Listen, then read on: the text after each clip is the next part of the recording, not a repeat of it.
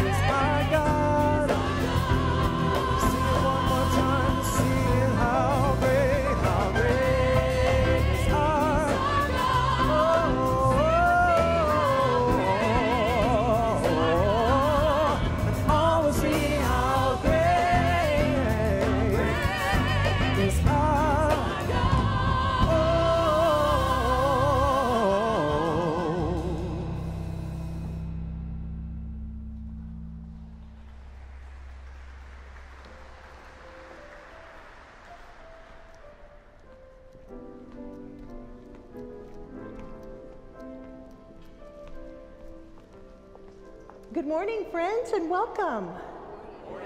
Welcome to Washington National Cathedral. I am Dana Corsello. I'm the canon vicar of the cathedral. And on behalf of Mariann Budde, our bishop, and Randy Hollerith, our dean, and our guest celebrant this morning, Bishop Gene Robinson, I want to welcome you this morning to worship. I do have two announcements. Our back to school drive is underway. Today these ministry leaders, they're terrific. They'll be back there at coffee hour. Everyone's welcome to join us for coffee hour. They will be collecting our backpacks and school supplies for students in wards seven and eight. They will be here next Sunday collecting backpacks and supplies as well. And if you join us for coffee hour and meet them, there's also another schedule where you can drop off book, excuse me, these backpacks during the week. So please make sure you stop by. And then secondly, right after this service, following this service, you can grab a cup of coffee. Paula Mays, one of our gifted ministry leaders, she will be leading a book talk on Jon Meacham's And There Was Light. This is that book that he wrote about Abraham Lincoln. So that class will take place in the Cathedral Boardroom Library. What you would do is you'd walk outside, walk all the way around. It's sort of kind of catty corner. It's, there's a separate building on the back side of the cathedral.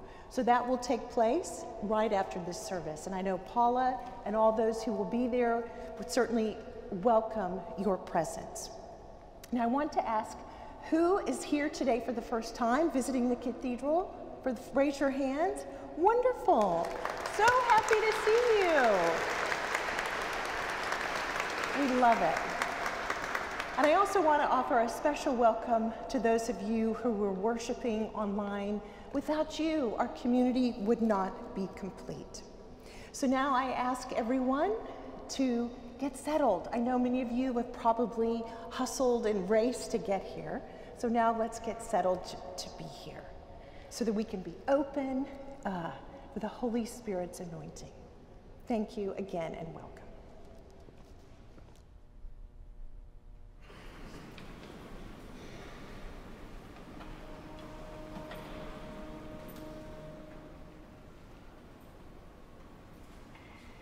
Eternal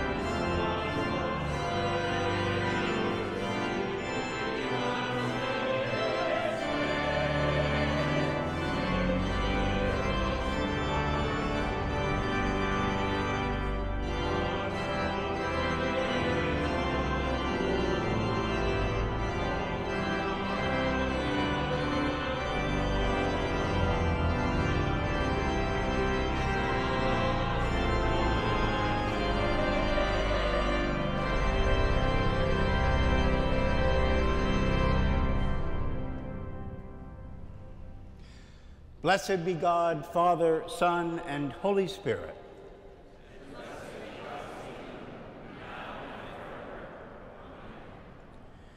Praying together, Almighty God, to you all hearts are open, all desires known, and from you no secrets are hid. Cleanse the thoughts of our hearts by the inspiration of your Holy Spirit, that we may perfectly love you and worthily magnify your holy name through Christ our Lord. Amen.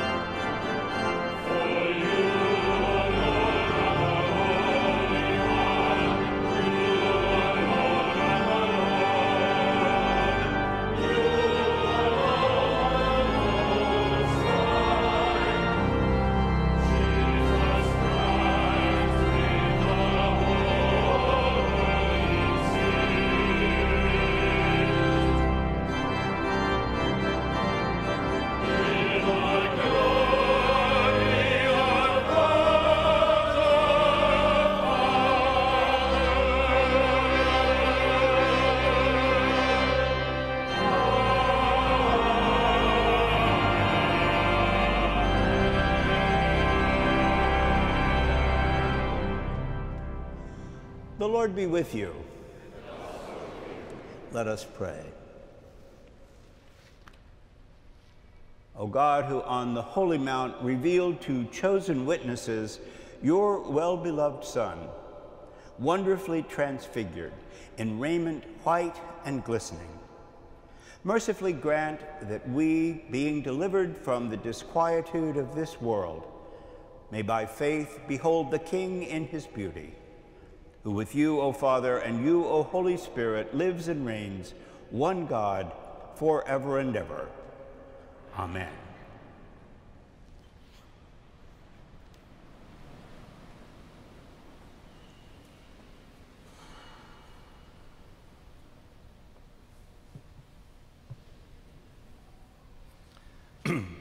A lesson from the book of Exodus. Moses came down from Mount Sinai.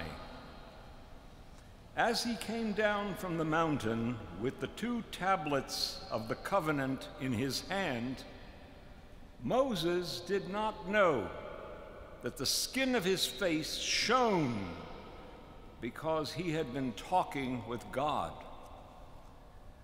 When Aaron and all the Israelites saw Moses, the skin of his face was shining, and they were afraid to come near him. But Moses called to them, and Aaron and all the leaders of the congregation returned to him, and Moses spoke with them. Afterward, all the Israelites came near, and he gave them in commandment all that the Lord had spoken with him on Mount Sinai. When Moses had finished speaking with them, he put a veil on his face. But whenever Moses went in before the Lord to speak with him, he would take the veil off until he came out. And when he came out and told the Israelites what he had been commanded, the Israelites would see the face of Moses, that the skin of his face was shining. And Moses would put the veil on his face again until he went in to speak with him. The word of the Lord.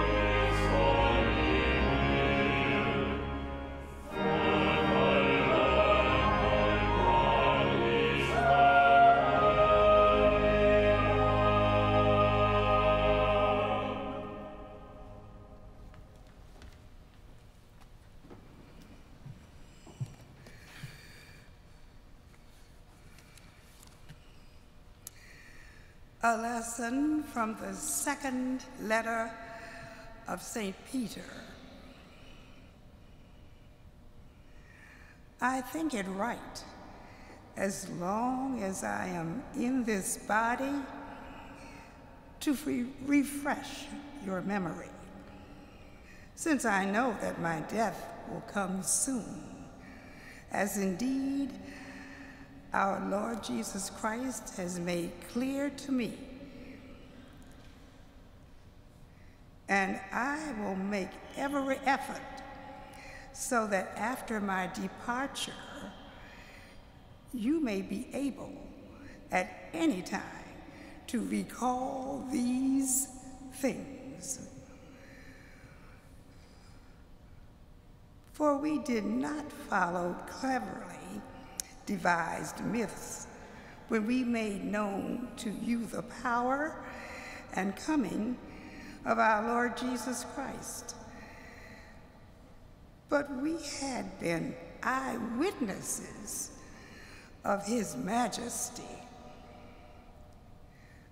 For he received honor and glory from God the Father when that voice was conveyed to him by the majestic glory, saying, This is my Son, my beloved, with whom I am well pleased. We ourselves heard this voice come from heaven while we were with him on the holy mountain.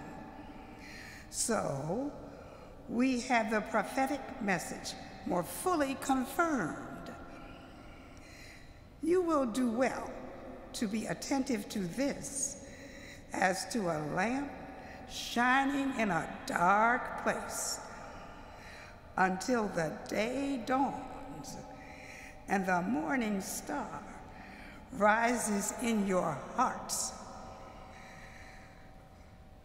First of all, you must understand this that no prophecy of Scripture is a matter of one's own interpretation because no prophecy ever came by human will.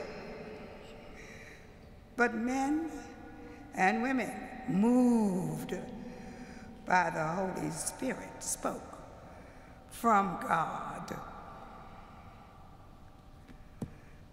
The word of the Lord.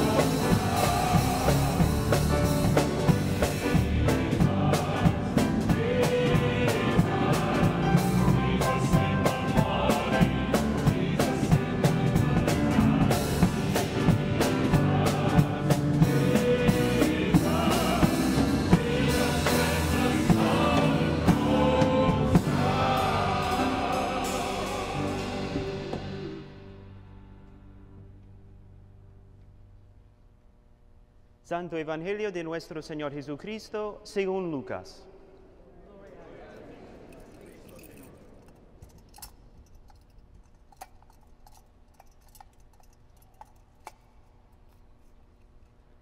Jesús subió a un cerro a orar, acompañado de Pedro, Santiago y Juan. Mientras oraba, el aspecto de su cara cambió y su ropa se volvió muy blanca y brillante. Y aparecieron dos hombres conversando con él. Eran Moisés y Elías, que estaban rodeadas de un resplandor glorioso y hablaban de la partida de Jesús de este mundo, que iba a tener lugar en Jerusalén. Aunque Pedro y sus compañeros tenían mucho sueño, permanecieron despiertos y vieron la gloria de Jesús y a los dos hombres que estaban con él.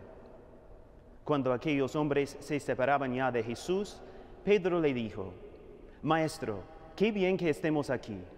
Vamos a hacer tres chozas, una para ti, otra para Moisés y otra para Elías. Pero Pedro no sabía lo que decía. Mientras hablaba, una nube se posó sobre ellos, y al verse dentro de la nube tuvieron miedo. Entonces de la nube salió una voz que dijo, Este es mi Hijo, mi elegido, escúchenlo. Cuando se escuchó esa voz, Jesús quedó solo. Pero ellos mantuvieron esto en secreto y en aquel tiempo a nadie dijeron nada de lo que habían visto.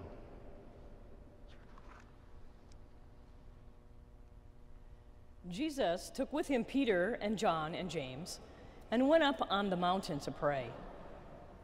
And while he was praying, the appearance of his face changed, and his clothes became dazzling white.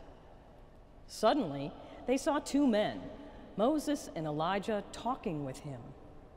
They appeared in glory and were speaking of his departure, which he was about to accomplish at Jerusalem. Now, Peter and his companions were weighed down with sleep. But since they had stayed awake, they saw his glory and the two men who stood with him. Just as they were leaving him, Peter said to Jesus, Master, it is good for us to be here. Let us make three dwellings one for you, one for Moses, and one for Elijah, not knowing what he said. While he was saying this, a cloud came down and overshadowed them, and they were terrified as they entered the cloud. Then from the cloud came a voice that said, This is my son, my chosen. Listen to him.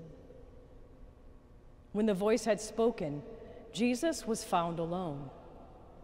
And they kept silent, and in those days told no one any of the things they had seen. The Gospel of the Lord. Praise to you.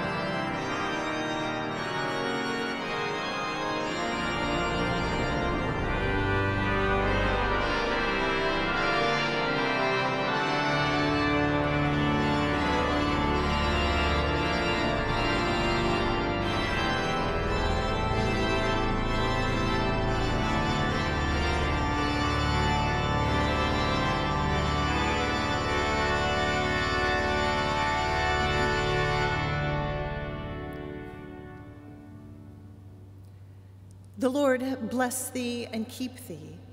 The Lord make his face to shine upon thee and be gracious unto thee. The Lord lift up his countenance upon thee and give thee peace.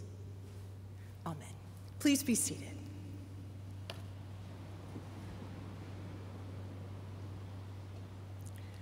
Good morning, friends. Today we'll be celebrating the feast of the Transfiguration of Christ. And today we'll be talking about glory. Glory. The glory of God. To God be the glory. Glory to you. Glory to me. Ascribe to the Lord the glory due his name.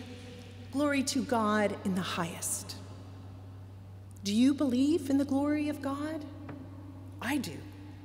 I believe in God's glory and the glory of God's revelation. I like to think that I see glory everywhere in nature, in mountains, in oceans, animals, in trees, and in the souls of human beings, in you.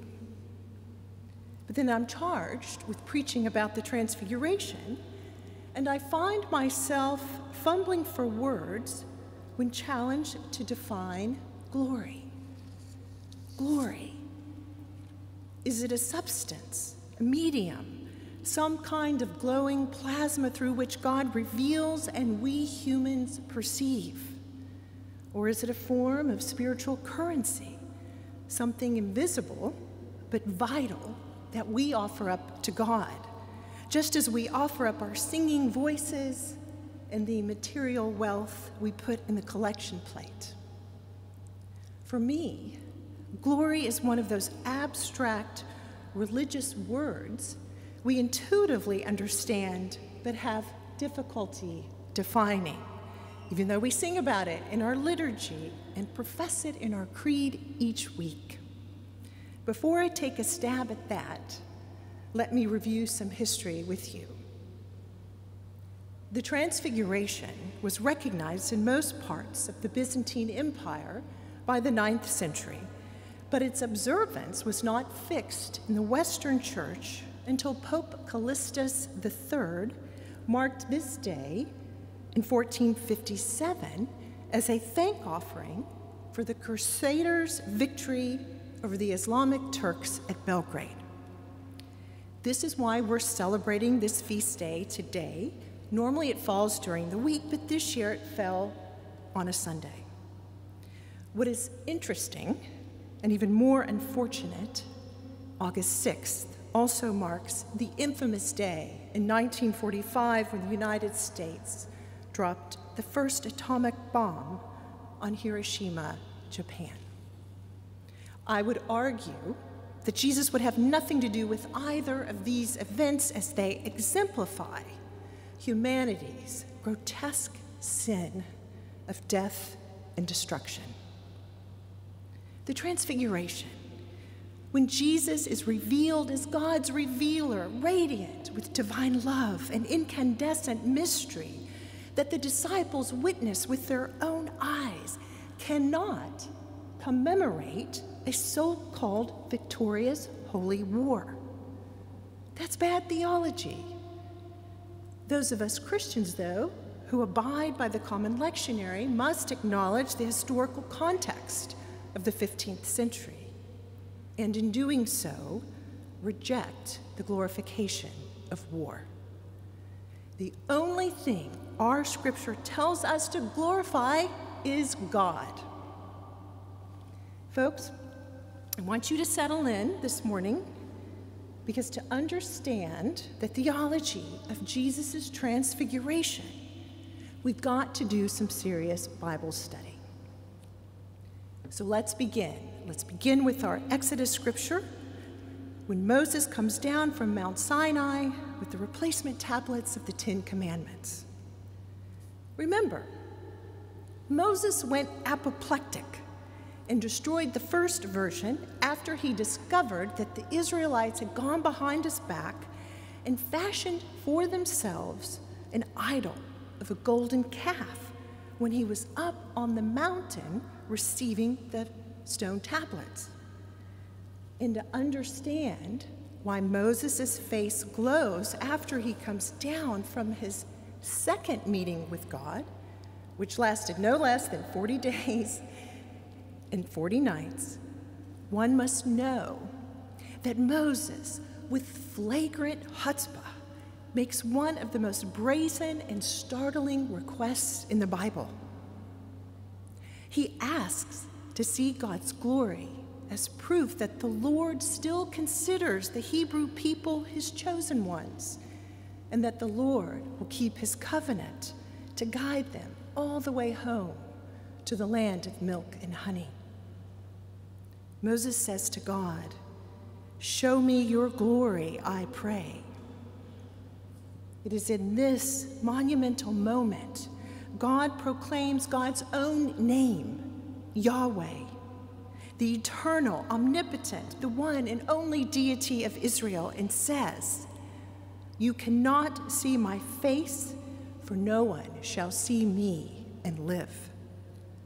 Yet, after Moses receives the second set of tablets, the Lord descends in a cloud and passes before Moses with this self profession The Lord, the Lord, a God, of, a God merciful and gracious, slow to anger, and abounding in steadfast love and faithfulness, keeping steadfast love for the thousandth generation forgiving iniquity and transgression and sin, and yet by no means clearing the guilty. End quote.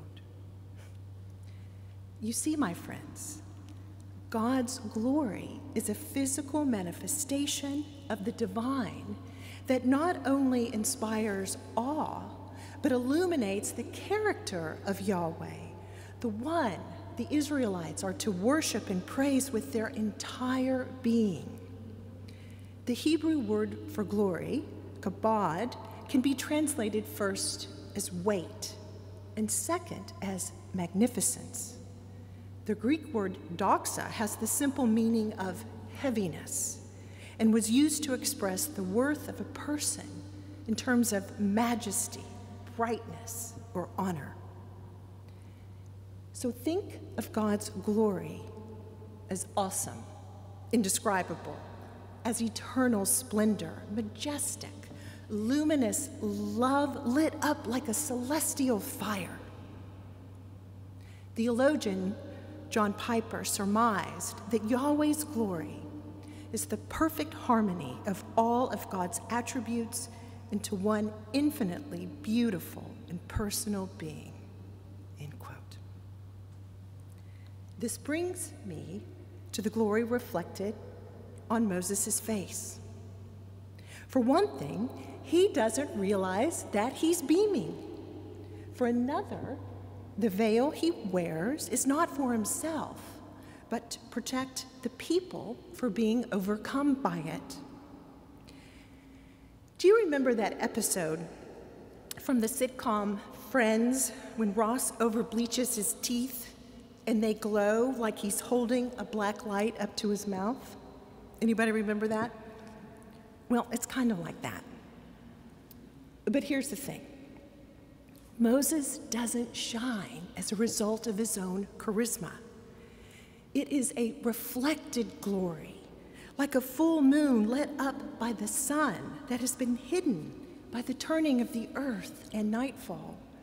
It is a glow that comes from being in the presence of the Holy One. As C.S. Lewis described in his sermon entitled The Weight of Glory, Moses' face shone because he had found favor with God. The simplistic definition of glory is to be known, appreciated, and delighted in by God. Lewis wrote, The promise of glory is the promise, almost incredible and only possible by the work of Christ, that some of us, that any of us who really chooses, shall actually survive that examination, shall find approval, shall please God. To please God, to be a real ingredient in the divine happiness. For glory means good rapport with God, acceptance by God, response, acknowledgement, and welcome into the heart of things. The door on which we have been knocking all our lives will open at last. End quote. Is this the same celestial approval that consumed Jesus on another mountaintop? Of course. Jesus' glory renders Peter, James, and John terrified, blinking, confused as he pulsates like a fusion reactor of delight, divine light and power. And if that weren't enough, the same theophanic cloud that spoke to Moses engulfs them too. A cloud that is more than weather. It is alive. It smells like lightning. This is Yahweh announcing his delight in his beloved Son, imbuing him with glory. This is my Son, my chosen one, the Lord exalts. Listen to him. It has taken me many years of studying the Transfiguration texts in the Gospels to be able to understand and articulate a basic but important premise. The glorification the disciples witness with their own eyes confirms Jesus' identity as the Son of God, the Messiah. But even more, it shows them there will be life beyond the cross, and they will live it. There will be chaos, and there will be blood. Jesus will be arrested, tortured, crucified, and resurrected. But when the disciples witnessed Jesus transfigured with Moses and Elijah by his side, they see through. They see God's hand and purpose in Jesus' life and beyond. What I'm trying to say is that they shouldn't have been so surprised and frightened when Jesus was resurrected from the dead and then ascended to be with God. Not to mention the Holy Spirit's wild rush on them at Pentecost. But they are mere mortals, right?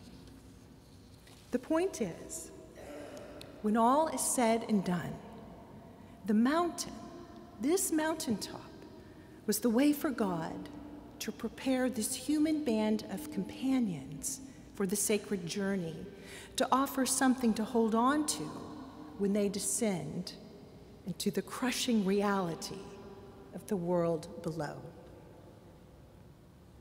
Now, this brings me to my final point, and this relates directly to you, and of course to me.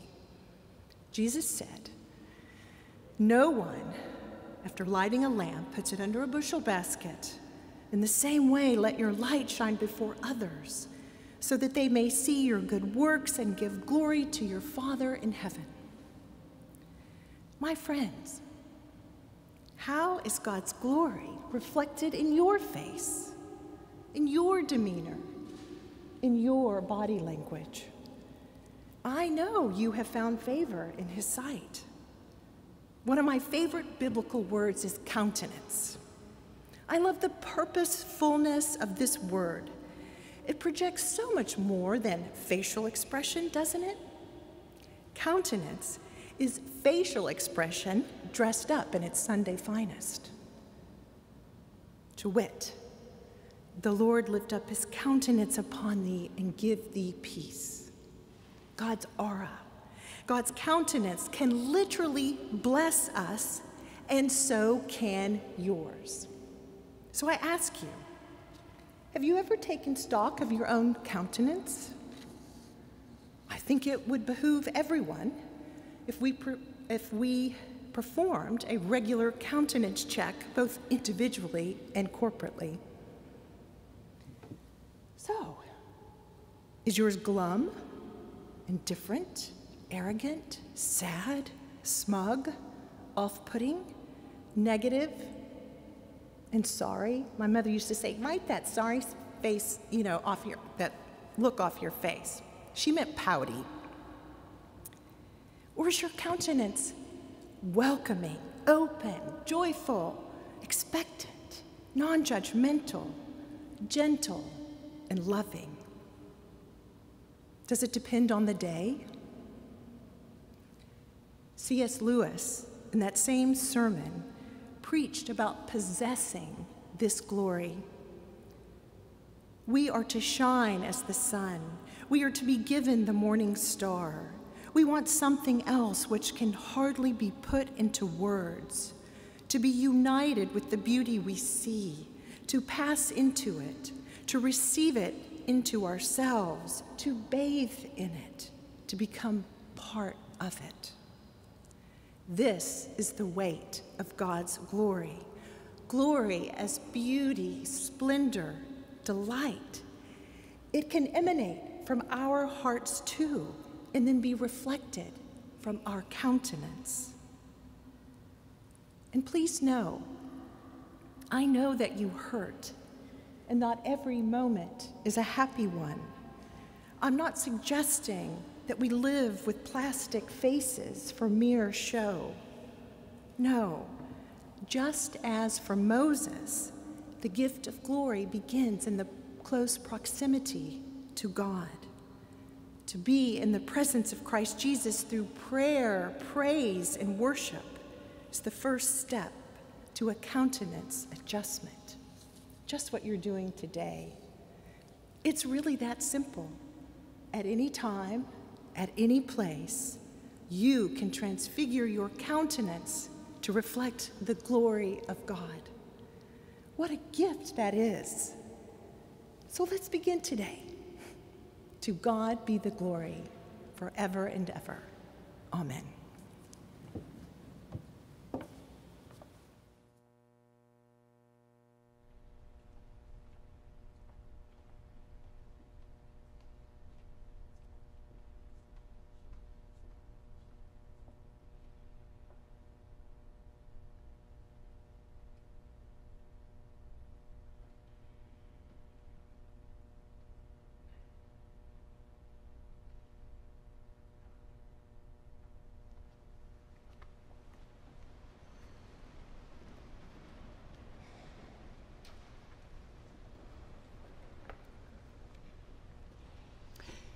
Let us affirm our faith in the words of the Nicene Creed. We believe in one God, the Father, the Almighty, maker of heaven and earth, of all that is seen and unseen. We believe in one Lord Jesus Christ, the only Son of God, eternally begotten of the Father, God from God, light from light, true God from true God, begotten, not made, of one being with the Father. Through him all things were made. For us and for our salvation, he came down from heaven. By the power of the Holy Spirit, he became incarnate from the Virgin Mary and was made man. For our sake, he was crucified under Pontius Pilate. He suffered death and was buried. On the third day, he rose again in accordance with the Scriptures. He ascended into heaven and is seated at the right hand of the Father. He will come again in glory to judge the living and the dead, and his kingdom will have no end. We believe in the Holy Spirit, the Lord, the giver of life, who proceeds from the Father and the Son. With the Father and the Son, he is worshiped and glorified. He has spoken through the prophets. We believe in one holy, Catholic, and Apostolic Church. We acknowledge one baptism for the forgiveness of sins. We look for the resurrection of the dead and the life of the world to come. Amen.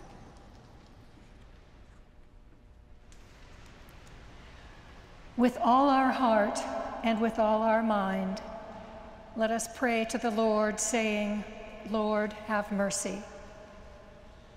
For the peace from above, for the loving kindness of God, and for the salvation of our souls, let us pray to the Lord.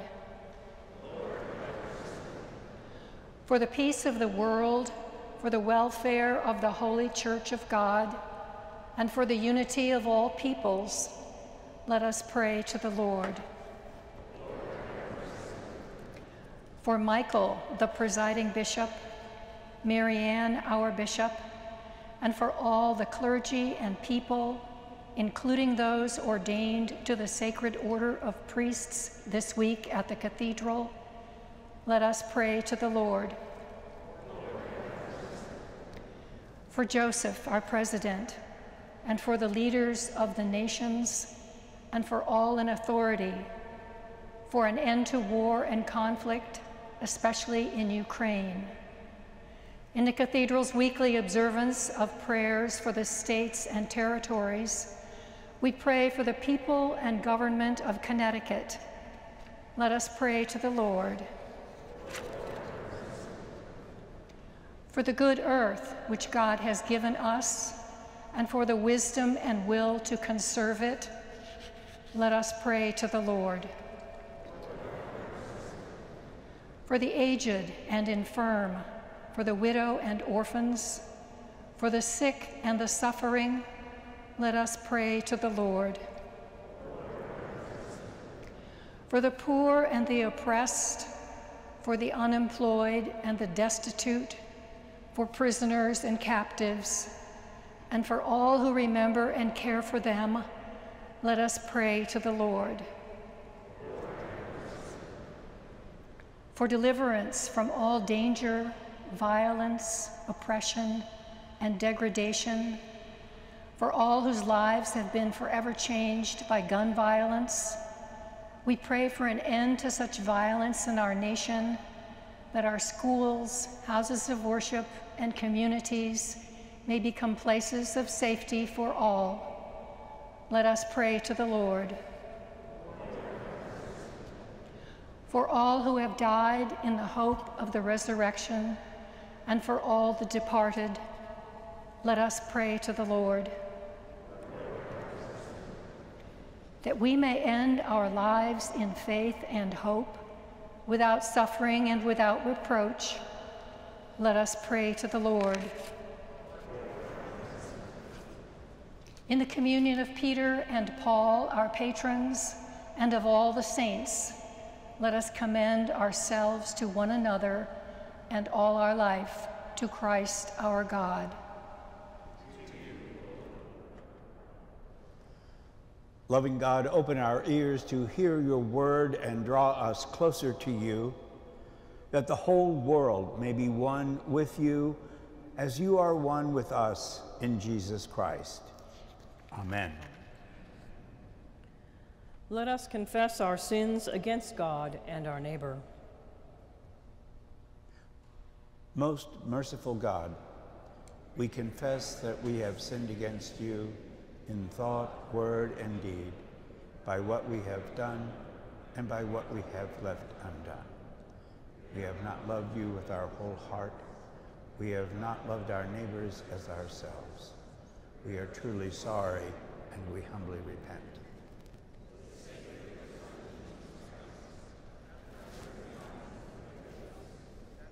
May delight in your will and walk in your ways to the glory of your name. Amen. Almighty God, have mercy on you, forgive you all your sins through our Lord Jesus Christ, strengthen you in all goodness, and by the power of the Holy Spirit, keep you in eternal life. Amen. And the peace of the Lord be always with you.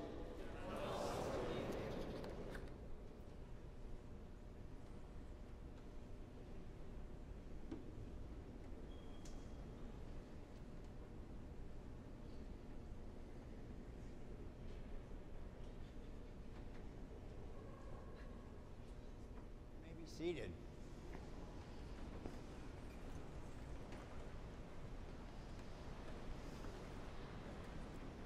Good morning. Nice sermon, and I want to pick right up on it. Yeah. So it's, it struck me uh, during your um, comments about countenance that buildings and communities uh, have countenances as well. And uh, when I brought my uh, father here just before he died, uh, uh, he walked in and he said, as we came through those back doors, he had never traveled to Europe, he had never been in a big cathedral. He said, It makes you feel so small. And that's part of, of what the builders of this and every great cathedral wanted to happen was to, to uh, put us uh, in our right sizes compared to God's greatness. But there's another side to the cathedral, which is its countenance that we show to the world, or at least that we aspire to here.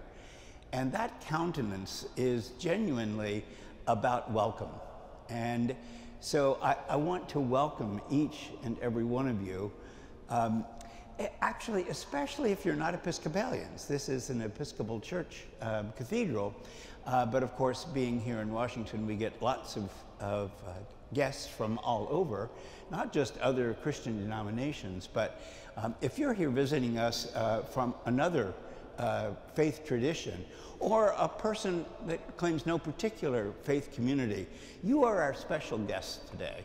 And we want you to feel uh, incredibly welcome here. It's the countenance that we, we feel in our hearts, we hope uh, we express in our, um, in our outward uh, show and uh, countenance.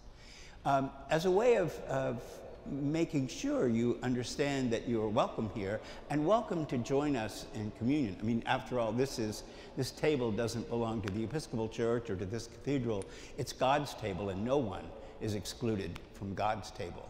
So, to assist you a bit, let me just give you a few instructions because we Episcopalians are a little bit strange. Um, if you'd like to come forward and receive the bread and wine of communion, the way we do that is you just put uh, one palm um, in the other and extend it, and the, um, uh, the person will uh, put bread in your hand and you may consume it. And then move to the sides to take the wine. We ask you not to dip the bread into the wine, but to actually uh, sip from the cup. And it's fine to hold the bottom of the cup to guide it to your lips. Um, it's also complete communion if you just have the bread alone. If for some reason you would like to come forward and, and feel included in this, but would rather not take communion, you may cross your arms across your chest and receive a blessing uh, in the name of the Holy One. So please know how welcome you are uh, this morning and I hope you feel at home here. Uh, this is indeed uh, a place of prayer for all of God's people. Um, however, um, this being the national cathedral, you might think that we get lots of money from the government to keep this place up and running. And true to our Constitution's promise of separation of church and state, that does not happen. And so we depend upon you and your generosity uh, to keep these doors open for, for all people to come and find a place of prayer. So we invite you to give generously. Uh, you can also, in your program, find a QR code there that can um, uh, tell you about how you can contribute to the ongoing uh, life and ministry of this place. So please welcome, come forward, uh, be a part of us um, because we feel a part of you. Walk in love as Christ loved us and gave himself for us, an offering and sacrifice to God.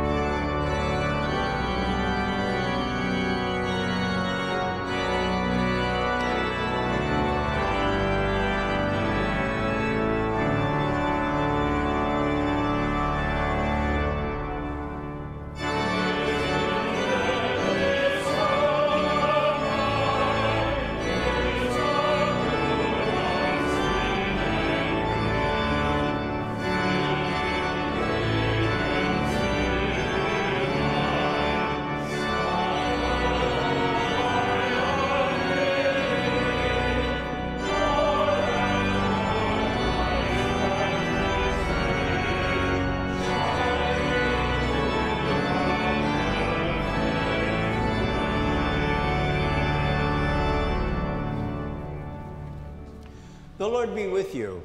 And also with you. Lift up your hearts. We lift them to the Lord. Let us give thanks to the Lord our God.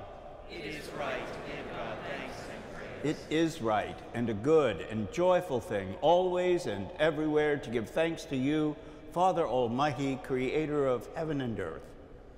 Because in the mystery of the Word made flesh, you have caused a new light to shine in our hearts, to give the knowledge of your glory in the face of your Son, Jesus Christ our Lord. Therefore, we praise you, joining our voices with angels and archangels, and with all the company of heaven, who forever sing this hymn to proclaim the glory of your name.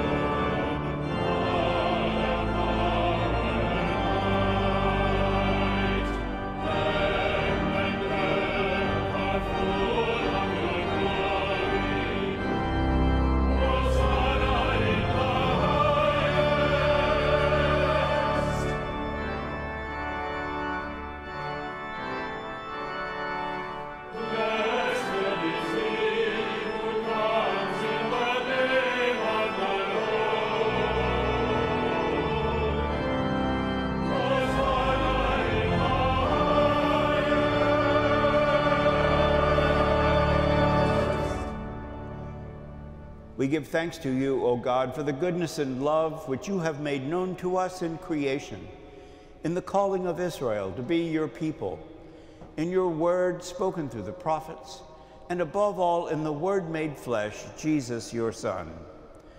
For in these last days you sent him to be incarnate from the Virgin Mary, to be the Savior and Redeemer of the world. In him you have delivered us from evil and made us worthy to stand before you. In him you have brought us out of error into truth, out of sin into righteousness, out of death into life. On the night before he died for us, our Lord Jesus Christ took bread. And when he had given thanks to you, he broke it and gave it to his disciples and said, Take, eat. This is my body, which is given for you. Do this for the remembrance of me.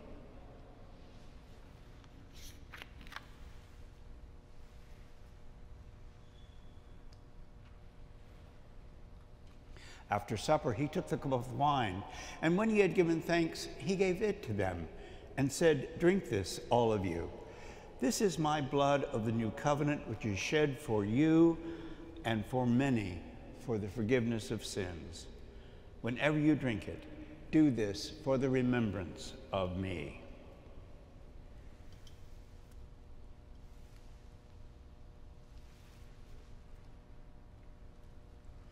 Therefore, according to his command, O Father, we remember his death, we proclaim his resurrection, we await his coming in glory. And we offer our sacrifice of praise and thanksgiving to you, O Lord of all, presenting to you from your creation this bread and this wine. We pray you, gracious God, to send your Holy Spirit upon these gifts, that they may be the sacrament of the body of Christ and his blood of the new covenant. Unite us to your Son in his sacrifice, that we may be acceptable through him, being sanctified by the Holy Spirit. In the fullness of time, put all things in subjection under your Christ, and bring us to that heavenly country where, with our patrons, the apostles Peter and Paul, and all your saints, we may enter the everlasting heritage of your sons and daughters. Through Jesus Christ our Lord, the firstborn of all creation, the head of the church, and the author of our salvation. By him and with him and in him, in the unity of the Holy Spirit, all honor and glory is yours, Almighty Father, now and forever. Amen.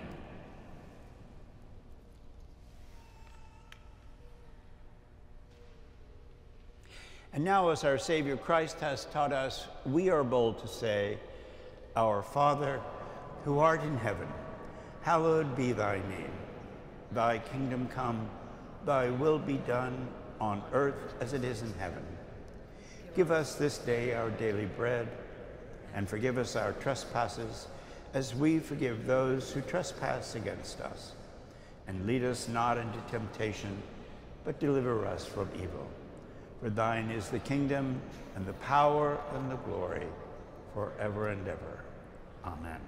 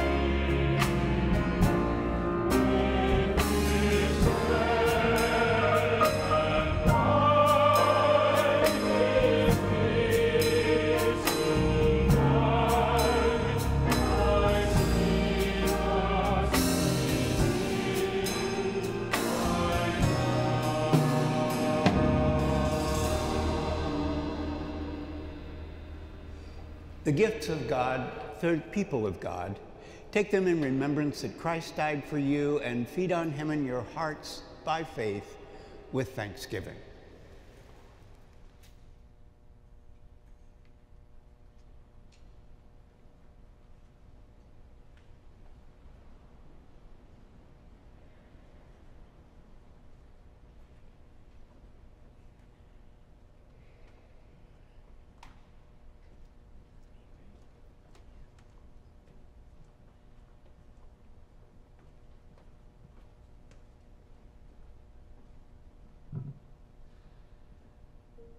Thank you.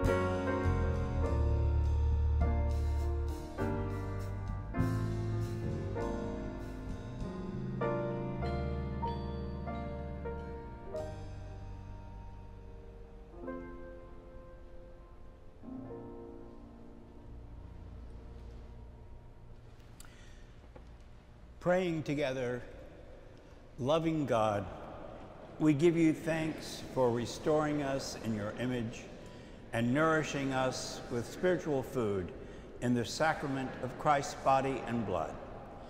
Now send us forth a people forgiven, healed, and renewed.